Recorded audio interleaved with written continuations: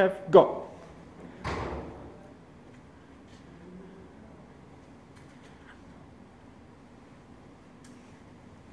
Nee, ik moet even de boel installeren. You must uh, install it. Not insert it, install it. Hoe strak kan de beertjes? You stick it on. Uh, is this on camera? Oh, sorry. Is it on camera? Works. It works. Okay. Test one, two, three. Want is papier op. Okay. Okay. The floor is yours. So this was shellcode, injection uh, into, uh, in, into C. and now we go to SQL injection. Injection into SQL. Okay. Um, let me explain. Why? Why it's so easy uh, to do. Um, suppose you have uh, a user interface with some input fields. Suppose you have a user interface to log on into a system. Then you get something like, give me your username give me your password.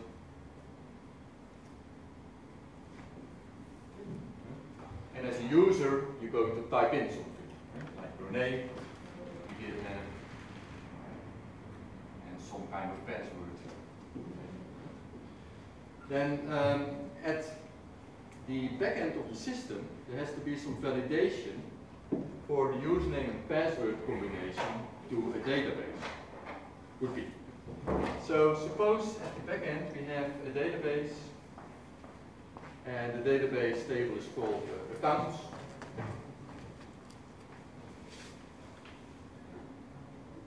And in here you have two columns, and one column is username,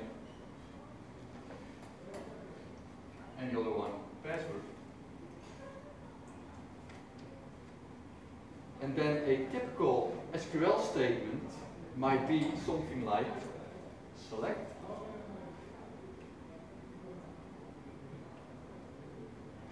From accounts.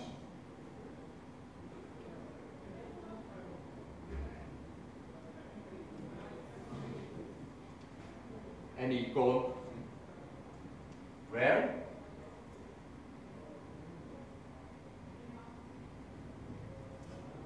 username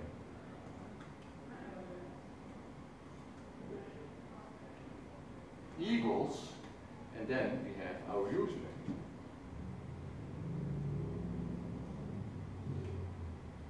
I come back to that. And password equals our password. Right?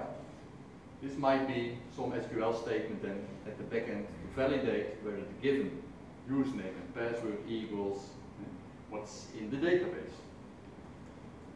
And what you saw with the shell code, um, eh, that you type in something and that will be put uh, into a string, uh, here the same occurs.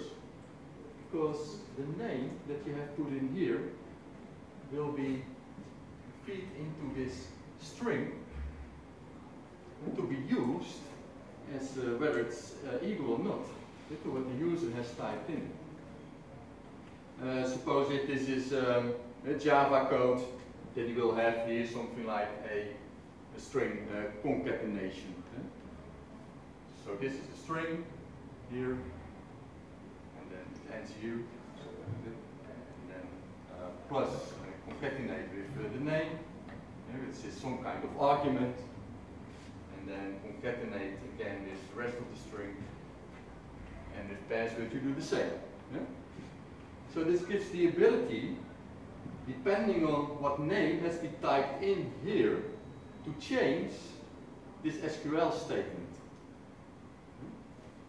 That clear? So it's not just a name, but if it is SQL, then you might see that you can change this SQL statement into some other SQL statements as well. Because suppose it's not just Elmer that I did type in here. So this string will be Elmer. But suppose it is SQL. Like um, simple SQL select something from etc. Then if I have typed that in here, that will be feed directly into my uh, SQL uh, statement and that will be fed to um, the SQL engine, in the SQL database and that will be executed. So if I ensure that what I type in here will result into a valid SQL statement or statements, then that might get executed. And if it is something like that, um, uh, the result is a list, and the list will be shown uh, to the user, then and it is not checking on yeah, on whether it's correct or not, but just uh, showing the result from the database. then you uh, you can see that uh, if you know what table you want to have and what columns you want to see from the table, that, that, will be printed to your screen. And a lot of web pages are just working like that. And they have a table in there, and the table is, is, is just uh, uh, repeating all the results from the select statement. So how can you do that? How can you ensure that statement you have here, SQL statement you have here, that, that, that you inject correct uh, SQL in there and the resulting SQL will be correct too. And there are some tricks to do that.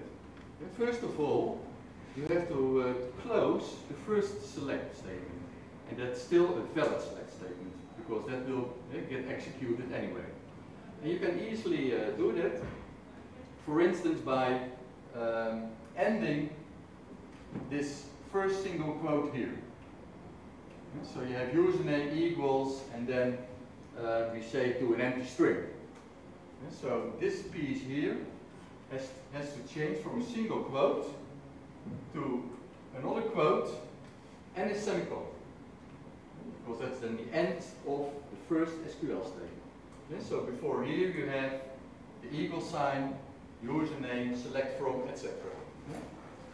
Clear? Okay, so that means that name is not going to, to be a name. So uh, name will be then a quote for the ending quote and a semicolon. Um, now I can add my own select statement. So if I uh, have an idea about what tables are at the backend, and I have an idea about what columns could be in there, I, I can guess. So I can do something like select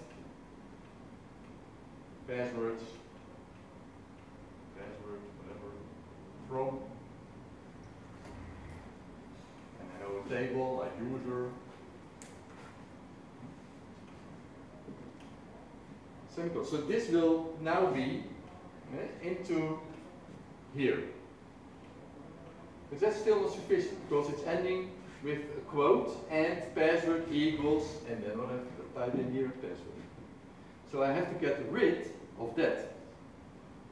And what you can do is add comment to, uh, to it. So if I add um, select password from user and I add comment after that, then all the rest that follows will be treated as comment. So ignored. Is that clear? So in fact then two SQL statements are executed. The first one, so that was the regular SQL statement made by the programmer. The second one, which we have injected through just uh, putting it into this input field. And then the comment, which was the rest of the original SQL statement made by the programmer. And that's a way, a simple way you can uh, you can do SQL injection. Clear?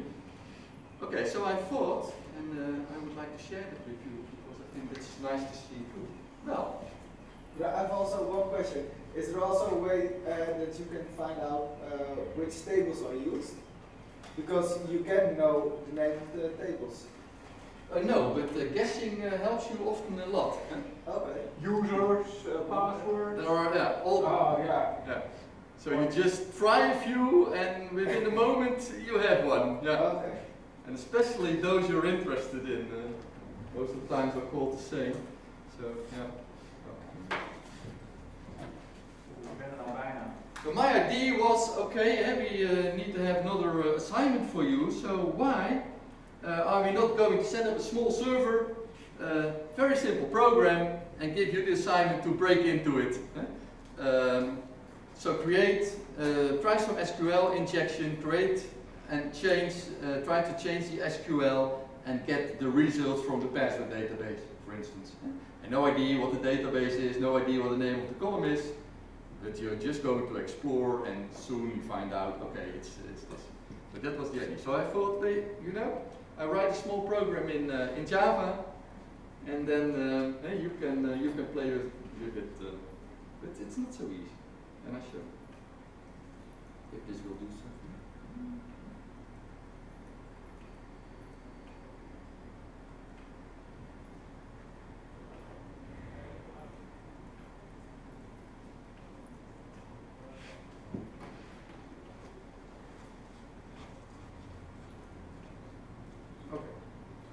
So I set up uh, an SQL database.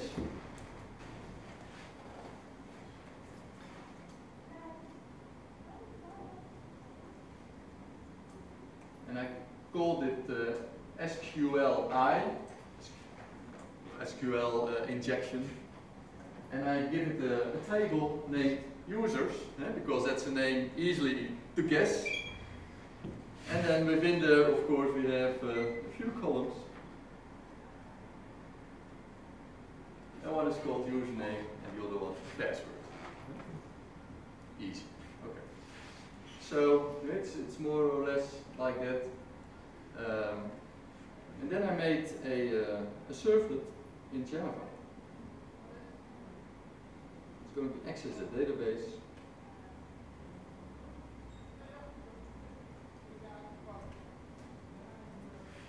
And I do that here. Try to explain this code.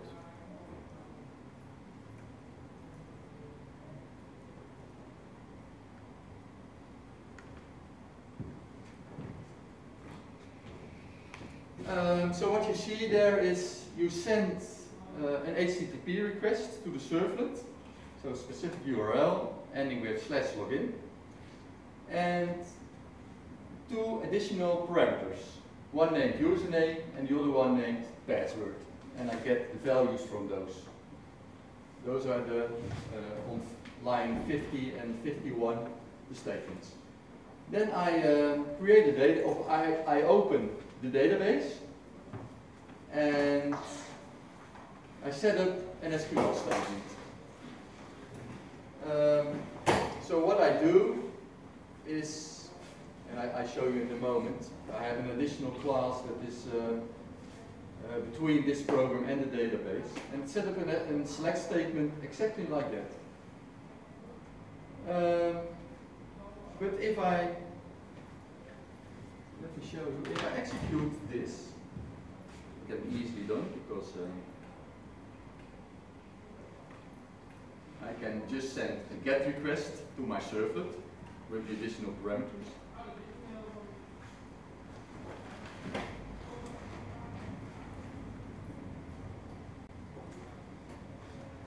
So if I do um, the login uh, URL with um, username and password,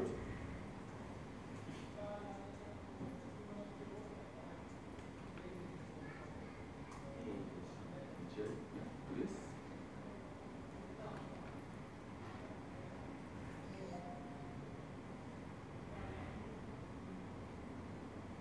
And so if I do here something else.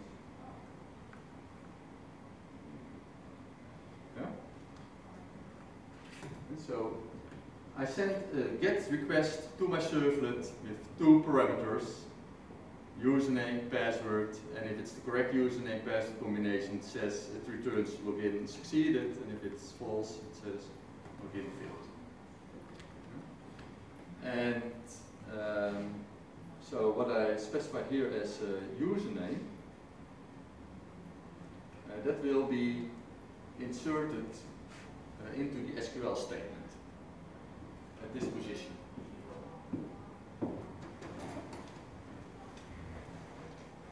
So the idea is to change it.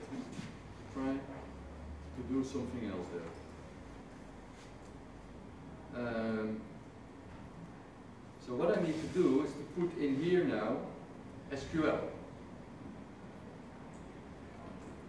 And it started with closing the first string. So it will start with, um, normally if I put in this here, eh, with yeah, as yeah, um, being put after the first quote. So I have to close that first quote. So start with that, the quote. Now I can add my own, and then semicolon on, for um, the end of the first SQL statement. And now I can insert my own SQL statement. So you can do something like select from users and we have a valid uh, select statement. We, uh, we close it with a semicolon, and then we know we have the rest, or an optional part, uh, the tail of the original SQL statement.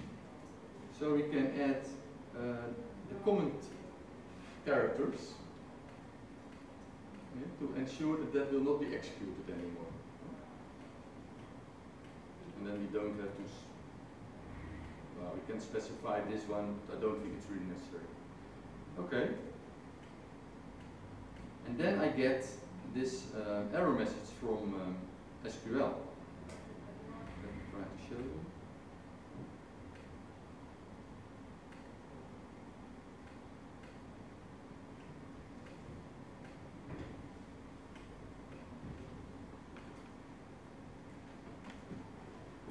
Can you read it? So if you take a closer look at that, so that's, that is the ending SQL statement. Select username, and then a few answer password from users, where username equals empty, semicolon, and then select star from users. This looks like valid SQL, isn't it? And you can see, in fact, that it is, because if I put this into the workbench, no problem. So if I copy paste this,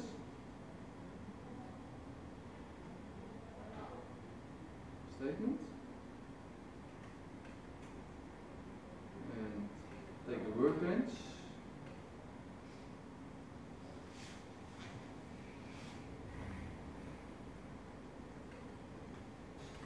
copy it into here, and if I execute this one,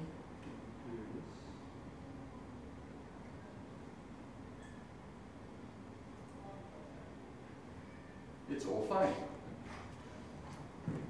See that now two statements are executed. So uh, JDBC is more safe than you might think it is. So it's not just executing any valid SQL statement that you're feeding it. And uh, so for that reason, I cannot, uh, we cannot put this directly on the server, say to you, okay, uh, go uh, try to exploit uh, this one, uh, because that will not work, because JDBC is just more powerful and more safe than I first thought that it was. So the idea is, um, what we what we can try to do is to, to write it to PHP. well, most drivers don't support multiple uh, queries in one query. That's the Yeah, so that's uh, even, okay. Even in PHP, if you do uh, in PHP that will work. if you do SQL query, it won't work. You need to do specify a separate function. It's, it's called a multi-query, and then it supports uh, multiple select queries or multiple inserts uh, in the statement, and then it will be vulnerable Otherwise, uh, you will need to somehow uh, not use the second statement. Yeah, and that's difficult in this Yeah, case. well, that's the trick. No. But in this case, you could just, just use uh, quotes or one equals one. Uh, because then you can make, maybe you can make a, a subquery, but you don't get then the result, eh, do, do you? So if you make a, um, a subquery, That would be valid. um, you can do, eh, you can uh, put an OR statement in there, for instance. Well, we can try. So give an idea about what we uh, uh, shall fill in here.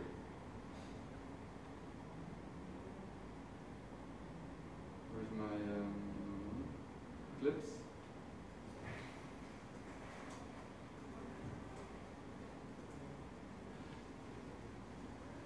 Okay, so we change it to. We can try it. huh? We, we have this, so we can try it, what will work. So in here now we have our um,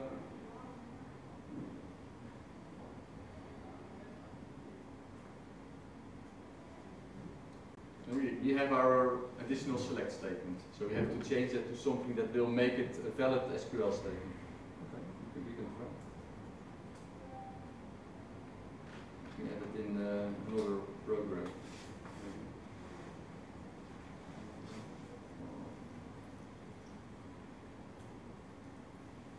Uh, it will be nice to put it in.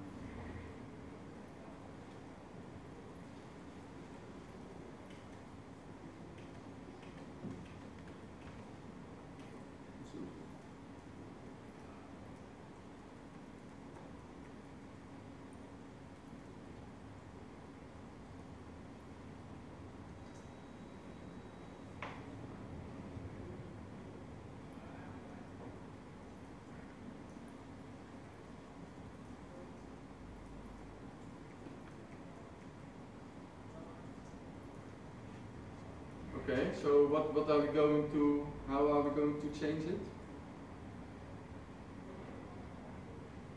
We have to start with this, and that might be something like that, that might be clear. Uh, in URL, just do quote uh, or one equals one and then comment. Yeah, okay, but then I cannot manip, I can, I can get the same result as this original query is, but I would like to have another result. No, but you will. Now I since, get- the, since the username, you will select all the users where username is empty or one equals one. Then No, I it- understand. it will fetch, fetch all the users. Um, yeah, I understand. But I cannot get data from another uh, table.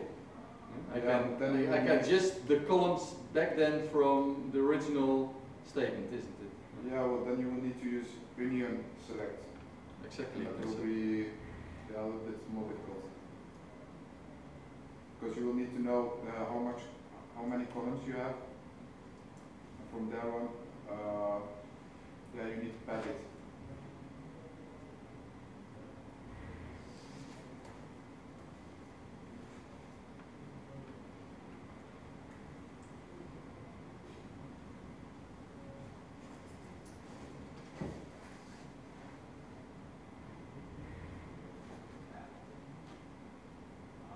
This is clear, eh? That, this will uh, work. Of course. Uh, we can change that.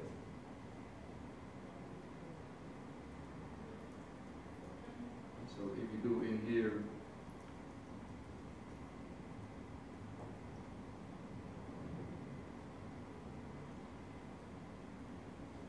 might still be there.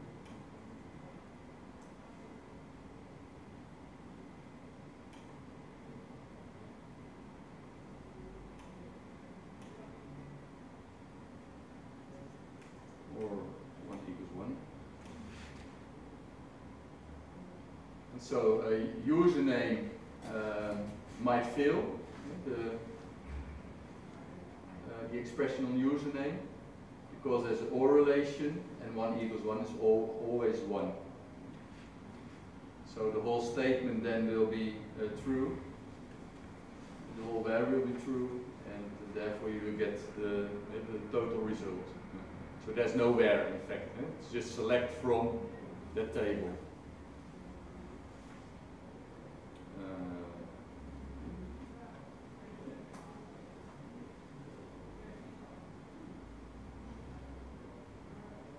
and then you have a successful uh, login, of course. But now you depend a lot on what the, the programmer has done. Exactly. So how can you manipulate that you get more than uh, what the programmer has meant uh, to return? Now the problem is the programming programmer isn't printing anything. He's just saying successful or not. Yeah, yeah, I do here, of course. But a lot of times it's a dump uh, of uh, what I said. eh? So you have a table, I can change it to of. Yeah. So that you have a table and that it shows a list of. yeah. So in this case you can't further. No, but then you have any, uh, then you have a list of names, eh? and Yeah. nothing more than that normally, because um, what you won't do.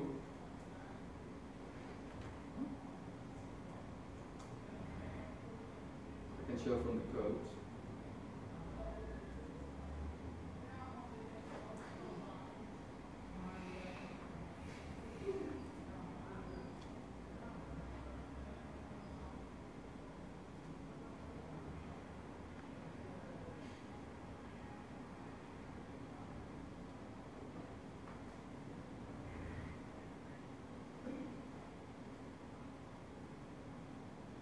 Normally, if you do something like this, you won't select the password field, uh, would you? You just include it in your where statement, but not in your select. But then you get a list of all the usernames, and you can can try to uh, access them. So you know exactly uh, who is, what usernames are available in the system.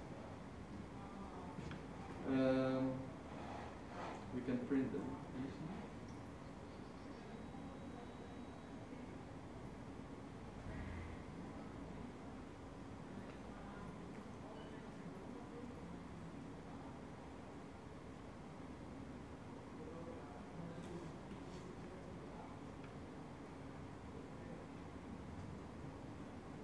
I can change it. That's all.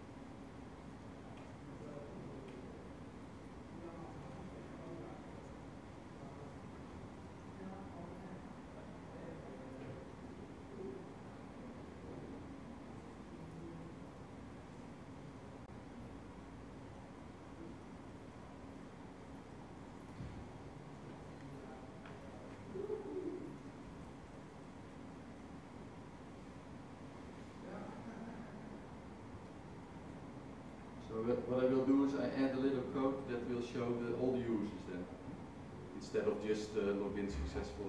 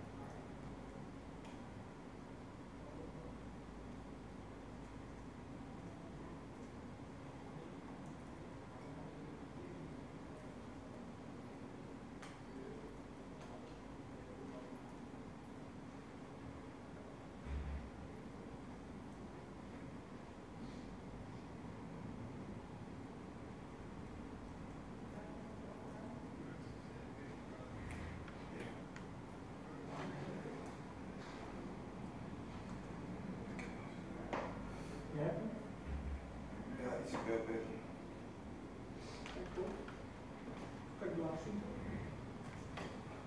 Van SQL inject, Uh, SQL injection or Yeah, it's good. with uh, PHP and multiple um, statements. Yeah, from another table. Yeah, from so in one is it one SQL statement then It's or one? SQL statement. One SQL statement. Okay. Yeah, you can show. Oh, zo. Yeah, okay. Please do. Uh,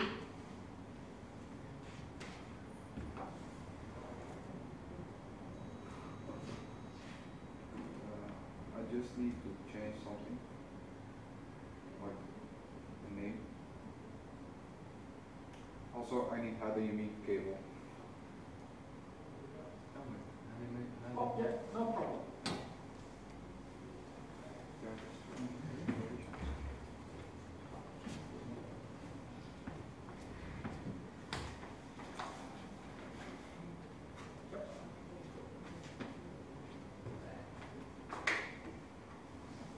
We have Yeah, just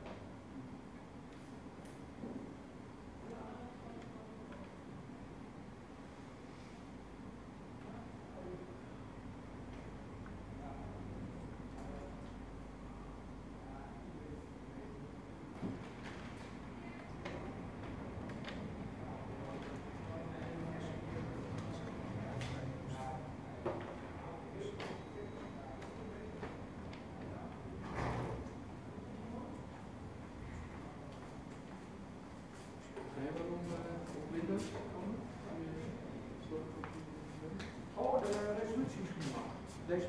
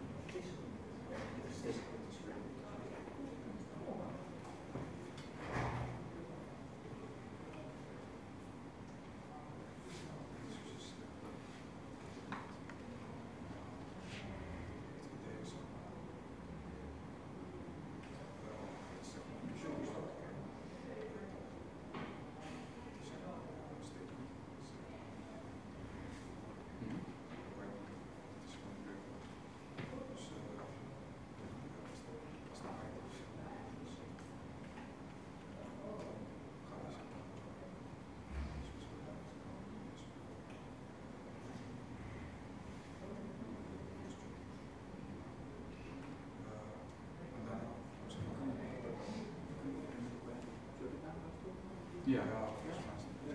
Iedereen mag wel naar voren komen hoor. Dan uh, mag de beamer, uh, we krijgen denk op de beamer, maar dan kan je het wel zien. Het is wel erg leuk om te zien.